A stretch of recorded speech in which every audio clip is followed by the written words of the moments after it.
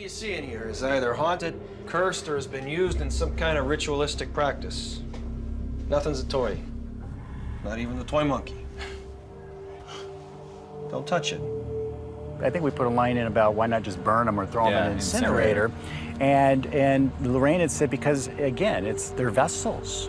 You know, you, you're just getting rid of the, the bottle that the genie's in. I'd rather know where the genie is because it's attached to this.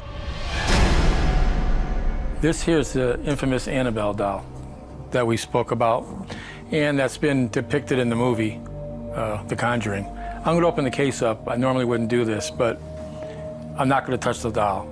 I'm not going to touch it because, as you know, it's very dangerous to touch an object like this.